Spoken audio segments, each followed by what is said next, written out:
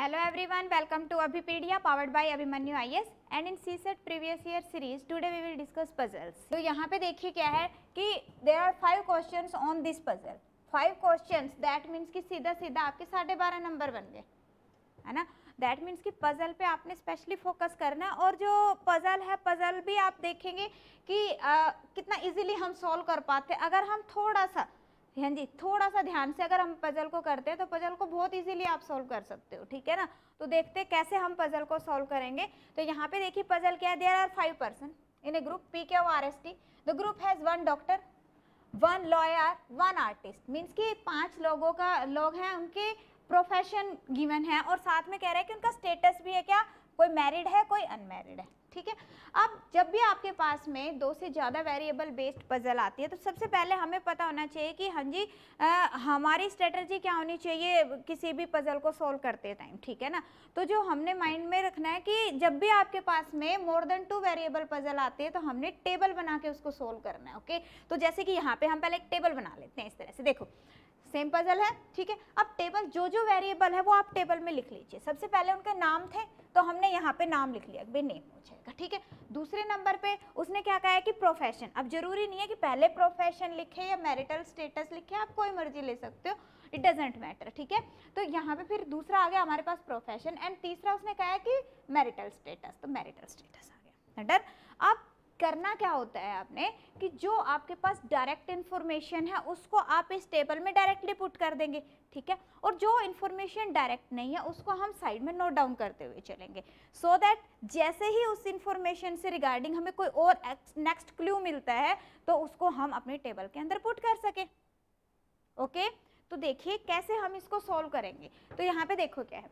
The group has five person P Q R S T पाँच लोग हैं हमारे पास, कौन है? P Q R S N T done the group has one doctor group के अंदर एक डॉक्टर है, ठीक है? वन लॉयर एक लॉयर है ग्रुप के अंदर वन आर्टिस्ट एक आर्टिस्ट है, ठीक है? साथ में आगे क्या गिवन है? आपके पास P and S are unmarried students आप देखो पी क्या आर एस है जब भी आप इस तरह से पजल करते हो तो उसमें एक चीज़ का ध्यान रखना है कि एक वेरिएबल को आप सीरियल वाइज लिख लिया करो। ठीक है? कोई भी ले सकते हो। अगर आपके पास में कोई भी सीरियल नहीं मैंशन है देन डजेंट मैटर तो अब यहाँ पे हमारे पास में पाँच लोग थे। P Q R S N T ठीक है? अब जो इन्फॉर्मेशन आती है, मैं साथ साथ पुट कर रही हूँ। देखो कैसे। जैसे यहाँ पे कहा P and S are M married student ये है पी क्या है? स्टूडेंट है। मैंने यहाँ पे लिख दिया स्टूडेंट ठीक है? एस इज़ ए स्टूडेंट मैंने यहाँ पे भी लिख दिया स्टूडेंट डन क्या है? अनमेरिड स्टूडेंट्स है। तो यहाँ पे हमने लिख दिया कि ये अनमेरिड है।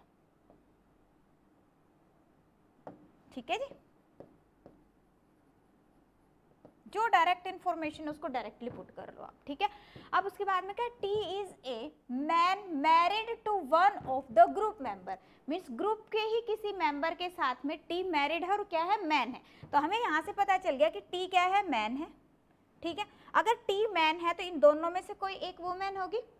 डन कह रहा कि T is a man married to one of the group member group के ही किसी मेंबर के साथ वो मैरिड है। साथ में क्या कहा गया है? Q is brother of P Q क्या है? ब्रदर है पी का। दैट मीन्स कि क्यू भी मेल है? तो यहाँ से हमें क्या पता चला कि जो आर है दैट इज़ ए फीमेल जब वो ग्रुप की किसी मेंबर के साथ टी मैरिड है दैट मीन्स कि आर फीमेल है and C is spouse of T okay तो इसको मैं सर्कल कर रही हूँ फीमेल के लिए। ओके? तो यहाँ से हमें क्या इन्फॉर्मेशन मिली है कि Q is brother of P अब साथ में ही क्या कहा गया है? And is neither doctor nor artist ना तो वो डॉक्टर है, ना तो वो आर्टिस्ट है। तो क्या हुआ वो? लॉयर हुआ। तो क्यों क्या है हमारे पास में? लॉयर है। डन हाँ जी, बिल्कुल क्लियर हो गया। क्या है वो? लॉयर है। डन अब साथ में क्या है R is not doctor R doctor नहीं है। आर डॉक्टर नहीं है तो हमारे पास में कौन बच गया? एक आर है और एक टी है। दैट मीन्स कि टी इज़ ए डॉक्टर तो टी क्या आ गया हमारे पास? डॉक्टर आ गया। आप देखो, तीन ही प्रोफेशन थे। यहाँ पे एक तो दो तो स्टूडेंट थे और उसके अलावा लॉयर डॉक्टर एंड आर्टिस्ट तो जो रिमेनिंग पर्सन है दैट इज़ आर्टिस्ट ये दोनों हस्बैंड वाइफ है। कौन? T and R that means कि ये दोनों मैरिड है, हमारे पास कंफर्म है। अब रह गया आपके पास? क्यों? अब क्यों का हमें ये नहीं पता कि ये मैरिड है या फिर अनमैरिड हमने दोनों मेंशन कर लिए जो नहीं पता। हाँ जी क्लियर इजी है? समझ आ गया सभी को? तो इस तरह से हमने इसको सोल्व कर लिया। किया क्या है? सिंपल था, कुछ नहीं। जो जो इन्फॉर्मेशन गिवन थी डायरेक्टली जो हम पुट कर पाए, उसको हमने डायरेक्टली यहाँ पे पुट कर दिया। अब इस पर देखिए क्वेश्चन कैसे आए हैं एग्ज़ाम के अंदर। तो क्वेश्चन अगर हम देखें, अब सेम मैंने यहीं पे, यहाँ पे पुट कर दिया है, क्योंकि बार बार फिर अदरवाइज़ हमें बैक जाना पड़ेगा। देखिए, यही थी हमारी, अब देखो, क्या है कि हु इज़ डॉक्टर डॉक्टर कौन है? तो डॉक्टर अभी हमने किया था, क्या था? टी इज़ ए डॉक्टर देखो सेम है, मैंने कुछ डिफरेंट नहीं किया। Okay okay? तो यहाँ पे हमें पता है कि टी क्या है? डॉक्टर है so answer will be T puzzle के केस में यही होता है कि एक बार हम पजल बना रहे हैं तो उस टाइम पे थोड़ा सा आपका टाइम लगता है, उसके बाद जितने भी क्वेश्चन है जस्ट टिक टिक करके आंसर आ जाएँगे आपके। ओके तो यहाँ पे देखिए टी क्या है? डॉक्टर है। नेक्स्ट क्वेश्चन देखते हैं। नेक्स्ट क्वेश्चन क्या था आपके पास में? हाँ जी नेक्स्ट क्वेश्चन था हु इज़ आर्टिस्ट तो आर्टिस्ट कौन था? आर आर्टिस्ट था तो आर क्या आ गया हमारे पास? आर्टिस्ट आ गया तो आर क्या आ जाएगा आपके पास? आर्टिस्ट आ जाएगा?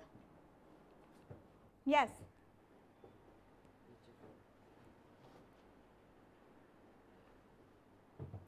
Okay? Yes clear है बिल्कुल? तो नेक्स्ट देखते हैं हम।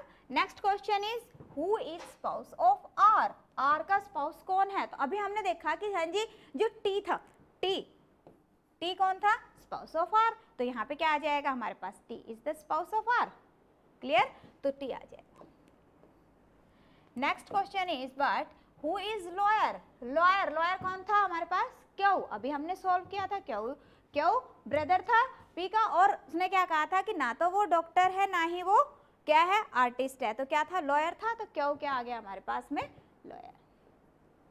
Next question is what who of the following is definitely a man man कौन है? तो अब देखो, जो पी और क्या पी और एस है। पी और एस क्या थे? स्टूडेंट थे बट इनका हमारे पास में जेंडर नहीं गिवन था, ठीक है ना?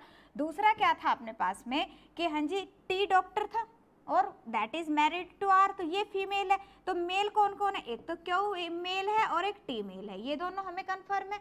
अब क्वेश्चन के अंदर ऑप्शंस हम देखते हैं। तो ऑप्शंस में क्या है? पी एस क्यों तो पी नहीं पता हमें एस नहीं पता हमें, ठीक है? क्यों क्यों हमें कंफर्म है दैट इज़ ए मेल तो क्या आ जाएगा आपके पास में? सी ऑप्शन सी क्यों इज़ द कंफर्म आंसर कि Q is a male yes clear हाँ जी। सभी को क्लियर है? Okay okay. उसके बाद नेक्स्ट देखते हैं। Yes there is next puzzle on the on the screen yes again अभी मैंने आपको बताया, जब भी कोई पजल आती है तो सबसे पहले हमने ये देखना है कि एक एट द फ़र्स्ट ग्लांस हमने ये देखना है कि जो हमारी पजल है, किस पे बेस्ड है। ठीक है ना? क्योंकि हमारे पास इतना टाइम नहीं होता एग्ज़ाम के अंदर।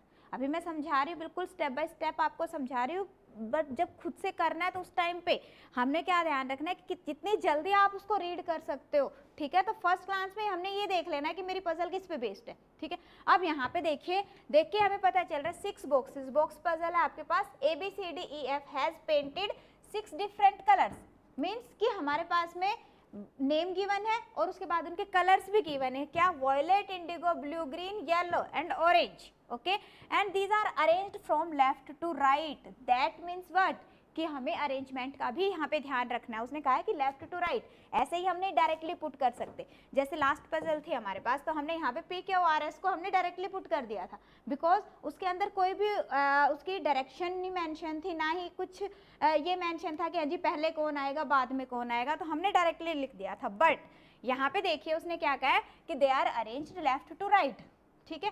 दैट मीन्स कि हमें अरेंजमेंट को भी माइंड में रखना है। उसके बाद है इधर कैप पेंटेड और the colour in the same order कह रहे हैं कि ज़रूरी नहीं है कि वो सेम कलर है। जो हमने यहाँ पे दिया है कलर का ऑर्डर वो ऑर्डर सेम है या ना ही उनका जो बॉक्स है बॉक्स सेम ऑर्डर में है। वो ज़रूरी नहीं है, ठीक है? आगे क्या दिया? Each box contain a ball any one of the following six games अब उसके अंदर अलग अलग बॉल्स भी है। अब यहाँ से हमें पता चल गया कि मल्टी वेरिएबल पजल है टेबल बेस्ड बनेगी हमारी, ठीक है ना? तो कौन कौन सी है? This is cricket hockey tennis golf football and volleyball okay not necessarily in the same order the golf ball is in violet box अब देखो, यहाँ तक जब मैंने पढ़ लिया है इसको, यहाँ से लेके यहाँ तक। तो उसके बाद में अपनी पजल को साथ में सॉल्व करना शुरू करो। ठीक है? क्योंकि बार बार रीड करने का कोई फ़ायदा नहीं है। बार बार आप रीड करोगे टाइम ज़्यादा लगेगा। जब बाद में जब इंफॉर्मेशन गिवन है, जो हमने पुट करनी है तो उसको क्या करना पहले, उससे पहले हमें एक टेबल यहाँ से हमें पता चल गया कि हाँ जी, कितने वेरिएबल है हमारी पजल के अंदर, ठीक है? तो उसके बाद हम टेबल बनाएँगे और टेबल में अब हम यहाँ पे क्या क्या ले सकते हैं? हाँ जी, जो बॉक्स है बॉक्स का नेम सेकंड हम कलर लेंगे। और क्या ले सकते हैं हम? कलर के बाद में और एक और भी पॉइंट है हमारे पास में कि उसके अंदर कौन सी गेम की बॉल है। ठीक है? एक गेम बॉल होगी। ठीक है? तो यहाँ से देखिए, हम इस तरह से क्या किया मैंने? एक सीरियल नंबर ले लिया, क्योंकि लेफ़्ट टू राइट कहा था उसने।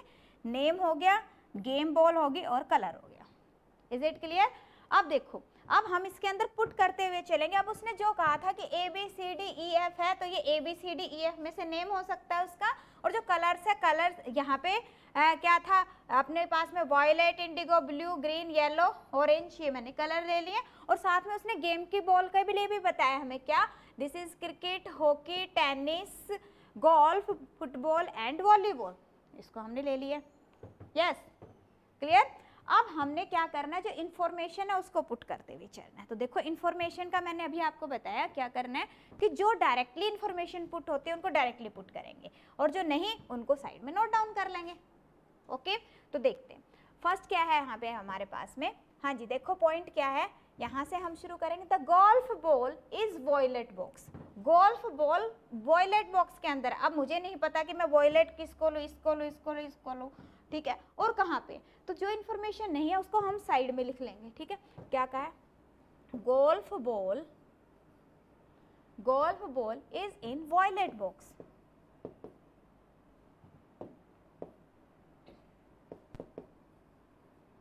ball is in violet box and not in box D और डी के अंदर नहीं है तो मैंने यहाँ पे डी लिख के इसको क्रॉस कर दिया। Okay next information is what the box A, which contain, the box A, which contain tennis ball is orange in color and at the extreme right. अब यहाँ पे हमें क्या इन्फॉर्मेशन है कि एक्सट्रीम राइट दैट मीन्स कि मैं अपनी टेबल में इसको पुट कर सकती हूँ। ठीक है? तो क्या कहा उसने? कि the box A box A name name के साथ में मैंने यहाँ पे नेम लिखा। बॉक्स ए ठीक है? विच कंटेन टेनिस बॉल तो यहाँ पे क्या है हमारे पास में? टेनिस की बॉल है तो मैंने यहाँ पे टेनिस लिख दिया। Done. Ball is orange in colour. तो यहाँ पे हमने ऑरेंज लिख दिया। हाँ जी, बताइए, इसमें कोई डाउट? बिल्कुल क्लियर है। आगे देखिए।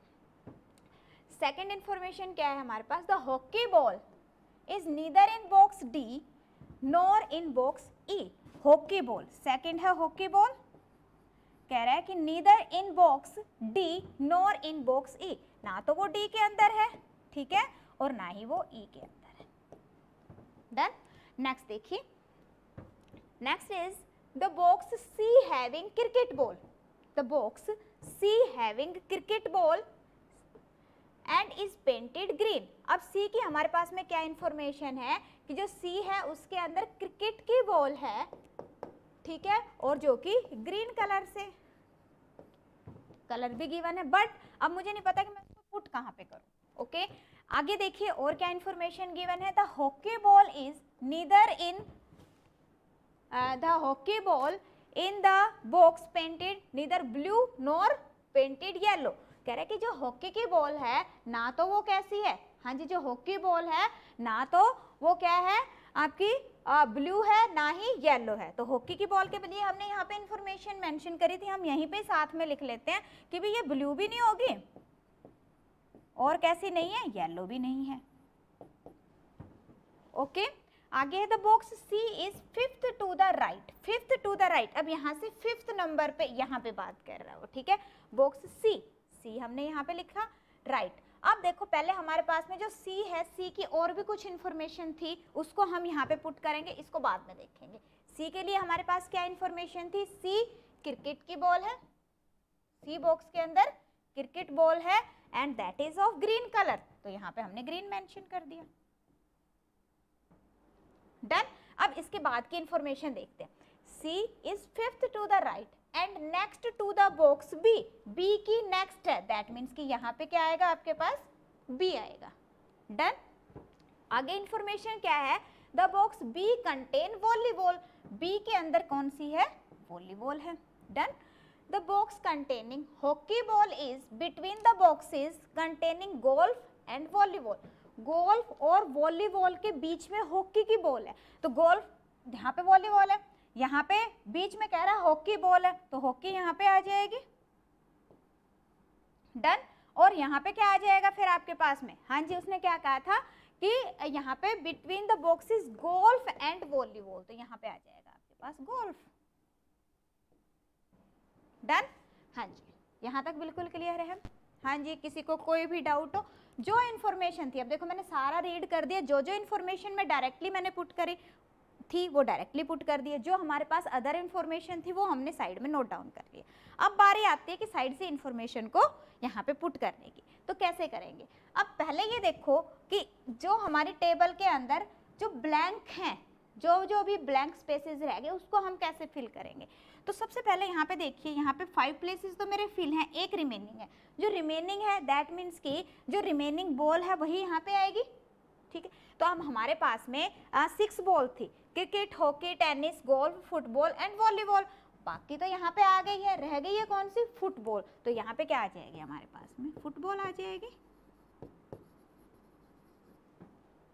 यस yes, क्लियर अब देखिए दूसरा जो पॉइंट है दूसरा पॉइंट यहाँ पे देखिए, यहाँ पे क्या था आपके पास में?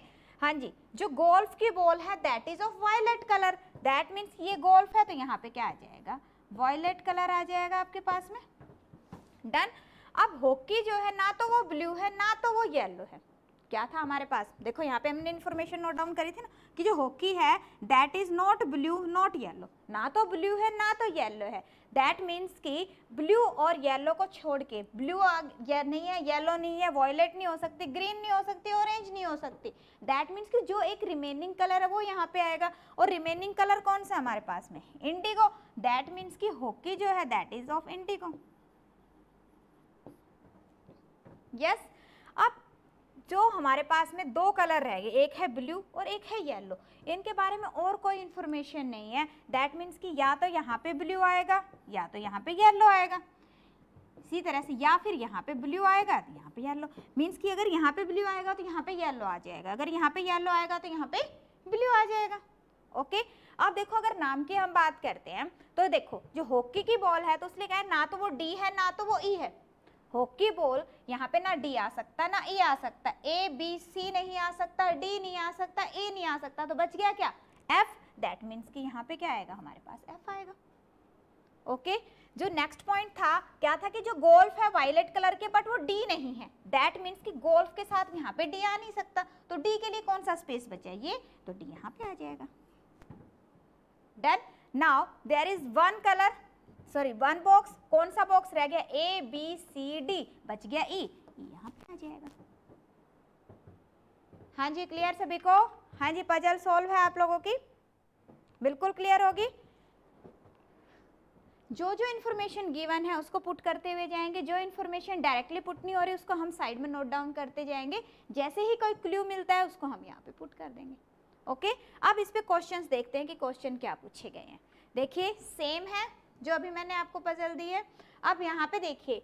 सॉल्यूशन ताकि हमें बार बार ना जाना पड़े, वही सॉल्यूशन मैंने यहाँ पे आप लोगों के लिए दे दिया है। डन अब यहाँ पे देखो क्या है। Which one of the following box contain golf ball golf की बॉल कहाँ पे? तो गोल्फ ये था हमारे पास, और गोल्फ की बॉल कौन से बॉक्स के अंदर है? ई e के अंदर। So E will be the correct answer that means की option B okay yes next देखिए। Next is which of the following statement is are correct रहा कौन सी करेक्ट है? अब देखो फ़र्स्ट क्या है? डी इज़ पेंटेड येलो अब डी पे आते हैं। डी देखिए क्या है? डी क्या है? ब्लू येलो हमें कंफर्म नहीं है तो हम कैसे कह देंगे कि येलो है? दैट मीन्स कि ये रॉन्ग है। F is painted indigo F is painted indigo तो यहाँ पे देखिए एफ़ इंडिगो है। दैट मीन्स की करेक्ट है। Okay okay? आंसर आ गया आपके पास में, फिर भी नेक्स्ट चेक कर लेते, वैसे तो आंसर आ गया B will be the correct answer B is painted blue B blue कैसे कह देंगे? हाँ जी, यहाँ पे ब्लू भी हो सकता है येलो भी हो सकता है, दोनों की पॉसिबिलिटी है. दैट मीन्स कि ये भी रोंग है. ऑल ऑफ़ द अबू तो हो ही नहीं सकता बिकॉज़ दो रोंग है यहाँ पे. डन यस नेक्स्ट देखिए.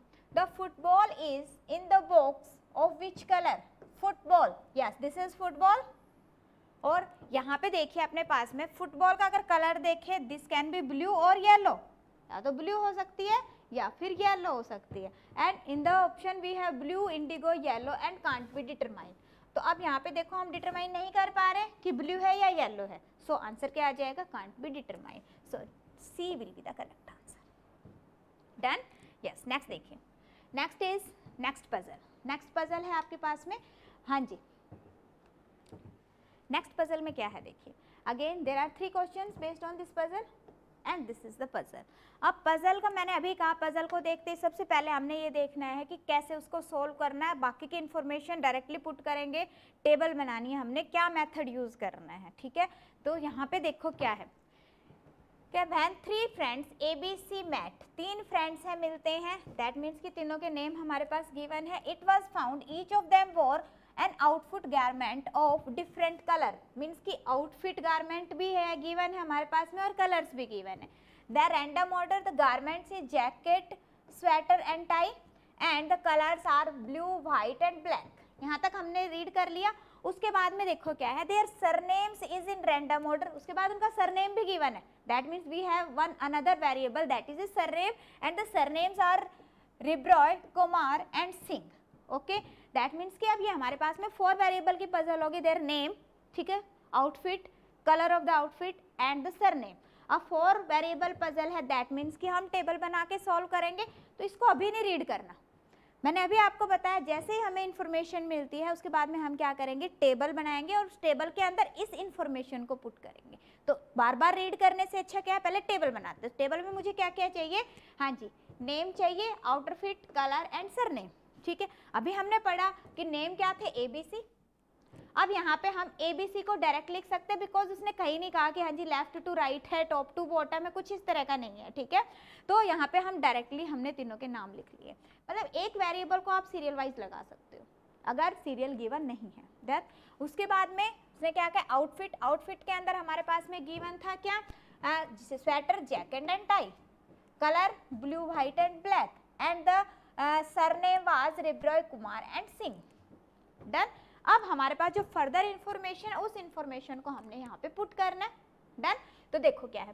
फ़र्स्ट इंफॉर्मेशन क्या गिवन है आपके पास? Neither B nor Ribroy wore a white sweater. अब यहाँ पे नीदर नोर का दैट मीन्स कि जो बी है, और ना तो बी, ना तो रिब्रोय। अब नाम से जो स्टेटमेंट है स्टेटमेंट से हमें क्या पता चल रहा है? बी एक डिफरेंट पर्सन है, रिब्रोय एक डिफरेंट पर्सन मतलब कि रिब्रोय बी नहीं है एटलीस्ट ठीक है? क्योंकि निदर नोर आ गया आपके पास, है ना? वोर ए व्हाइट स्वेटर अब यहाँ से क्या कंफर्मेशन मिली है मुझे? कि जो बी है, ना तो वो रिब्रोय है। रिब्रोय नहीं है वो, ठीक है? क्यों? क्योंकि यहाँ पे तो कोई दूसरा पर्सन है जिसकी बात कर रहा हो। वोर ए वाइट स्वेटर यहाँ पे स्वेटर भी नहीं आएगी और वाइट भी नहीं आएगा बी के लिए। फ़र्स्ट स्टेटमेंट से यही कंक्लूजन निकला हमारे पास में। नेक्स्ट स्टेटमेंट क्या है? सी वोर ए टाई। सी ने टाई पहनी हुई है तो सी के लिए हमारे पास आ गया tie. Okay? Singh's garment was not white. अब देखो, सिंग का गारमेंट वाइट नहीं है, ये कहा है उसने। अब एक पॉइंट और, यहाँ पे कहा है कि Singh's garment was not white. Singh का वाइट नहीं है। सिंग का वाइट नहीं है दैट मीन्स कि यहाँ पे सिंग भी नहीं आएगा। ठीक है ना? हाँ जी, सिंग का वाइट नहीं है। क्लियर अब यहाँ पे देखो सॉरी हाँ जी, ध्यान से देखिए, यहाँ पे उसने क्या कहा है कि सिंग का वाइट नहीं है। यहाँ पे वाइट है दैट मीन्स कि यहाँ पे सिंग आ सकता है। यहाँ पे कहना कि वाइट नहीं आएगा, यहाँ पे वाइट नहीं आएगा, सिंग का भी वाइट नहीं है दैट मीन्स कि यहाँ पे हमारे पास में सिंग आ सकता है। सिंह आ सकता है बट अभी हम नहीं लिखते। आगे देखो क्या कह रहा है। कह रहा है, Kumar does not wear jacket Kumar ने जैकेट नहीं पहनी हुई। अब यहाँ पे स्वेटर नहीं आ सकती। यहाँ पे स्वेटर नहीं आ सकती। ठीक है टाई यहाँ पे आ गई। दैट मीन्स वट कि जो स्वेटर है स्वेटर यहाँ पे आएगी। ये पॉइंट क्लियर हो गया। अब टाई यहाँ है स्वेटर यहाँ है तो यहाँ पे क्या आएगा फिर? जैकेट आएगा यहाँ पे।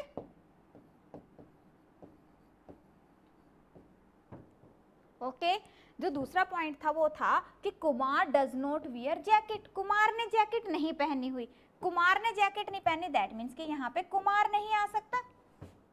ठीक है? और साथ में उसने हमें, अभी हमने पढ़ा कि सिंह का वाइट नहीं है. यहाँ पे वाइट नहीं आ सकता दैट मीन्स कि यहाँ पे सिंह आ सकता है. तो यहाँ पे बचा हुआ कौन है? सिंह. तो यहाँ पे कौन आ जाएगा? आपके पास में सिंह आ जाएगा।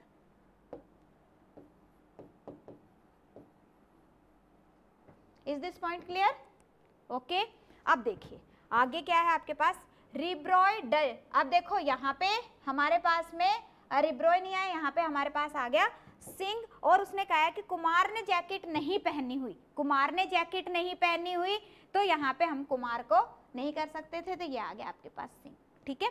नेक्स्ट देखिए। Ribroy doesn't like to wear black colour Ribroy को ब्लैक कलर पसंद नहीं है। रिब्रॉय को व्हाइट भी नहीं पसंद, रिब्रॉय को ब्लैक भी नहीं पसंद। दैट मीन्स कि रिब्रॉय को कैसा पसंद है?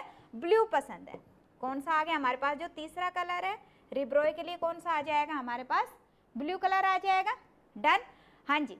अब आगे देखिए क्या है। कह रहा each friend wore only one outer garment that is of only one colour जो कि सिर्फ़ एक कलर का होगा। ठीक है?